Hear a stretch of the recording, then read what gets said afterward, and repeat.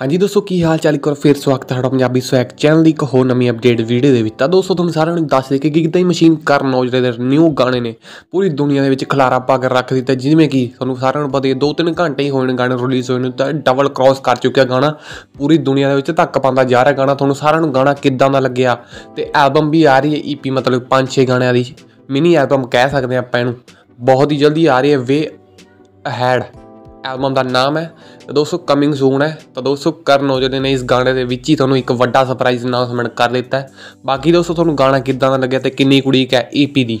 Comment ਕਰਕੇ ਦੱਸ ਸਕਦੇ ਹੋ ਤੇ ਪੂਰੇ ਦੁਨੀਆ ਦੇ ਵਿੱਚ ਗਾਣਾ ਤੱਕ ਪਾਉਂਦਾ ਜਾ ਰਿਹਾ। ਤੁਸੀਂ ਸਾਰੀ ਸਕਰੀਨ ਤੇ ਚੈੱਕ ਕਰ ਸਕਦੇ ਹੋ। 2 ਘੰਟੇ ਦੇ ਅੰਦਰ ਅੰਦਰ 5 ਲੱਖ ਤੋਂ ਉੱਤੇ ਪਲੱਸ ਵਿਊ ਹੋ ਚੁੱਕੇ ਨੇ ਤੇ 35000 ਤੋਂ ਉੱਤੇ ਕਮੈਂਟ ਹੋ ਚੁੱਕੇ ਨੇ ਬਾਕੀ ਦੋਸਤੋ, ਤੁਸੀਂ ਕਿਸ ਟਾਈਮ ਇਸ ਵੀਡੀਓ ਨੂੰ ਦੇਖ ਰਹੇ ਹੋ ਸਾਨੂੰ ਕਮੈਂਟ ਕਰਕੇ ਦੱਸੋ ਕਿੰਨੇ ਨੰਬਰ ਦੇ ਟ੍ਰੈਂਡ ਦੇ ਚੱਲ ਰਿਹਾ ਗਾਣਾ ਔਜਲੇ ਦਾ ਤੇ ਕਿੰਨੇ ਮਿਲੀਅਨ ਵਿਊ ਹੋ ਚੁੱਕੇ ਨੇ ਤਾਂ ਹੁਣ ਗੱਲ ਕਰ ਲੈਣਾ ਦੋਸਤੋ, ਆਪਾਂ ਸਿੰਘਾਂ ਬਾਰੇ। ਤਾਂ ਦੋਸਤੋ ਸਿੰਘ ਦਾ ਵੀ ਨਵਾਂ ਗਾਣਾ ਬਹੁਤ ਹੀ ਜਲਦੀ ਦੇਖਣ ਨੂੰ ਮਿਲੂਗਾ। ਤੁਹਾਨੂੰ ਸਾਰਿਆਂ ਨੂੰ ਹੀ ਇਸ ਕੁੱਬਰ ਇਸ ਗਾਣੇ ਦਾ ਨਾਮ ਹੈ। ਆਫੀਸ਼ੀਅਲੀ ਪੋਸਟਰ ਤੁਸੀਂ ਸਾਰੇ ਆਪਣੀ ਸਕਰੀਨ ਤੇ ਚੈੱਕ ਕਰ ਸਕਦੇ ਹੋ।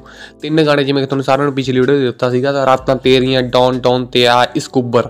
ਗਾਣਾ ਆ ਰਿਹਾ ਬਹੁਤ ਹੀ ਜਲਦ। ਇਸ ਗਾਣੇ ਦਾ ਆਫੀਸ਼ੀਅਲੀ ਪੋਸਟਰ ਕਾਫੀ ਜ਼ਿਆਦਾ ਘੈਂਟ ਬਣਿਆ ਹੋਇਆ ਹੈ। ਗਾਣਾ ਦੇਖਣ ਨੂੰ ਮਿਲ ਜੂਗਾ ਤੁਹਾਨੂੰ 23 ਜਨਵਰੀ ਨੂੰ 5 ਵਜੇ ਦੇਖਣ ਨੂੰ ਮਿਲ ਜੂਗਾ ਜਨ ਇਸ ਦੇ ਵਿੱਚ ਫੀਚਰਿੰਗ ਕੀਤੀ ਹੈ ਸਿੰਘ ਨੇ ਆਪਣੇ।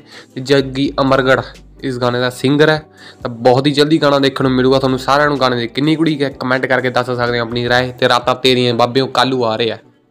ਤੇ ਵੀਡੀਓ ਚੰਗੀ ਲੱਗੀ ਲਾਈਕ ਕਰ ਦਿਓ ਚੈਨਲ ਨੂੰ ਸਬਸਕ੍ਰਾਈਬ ਕਰ ਦਿਓ।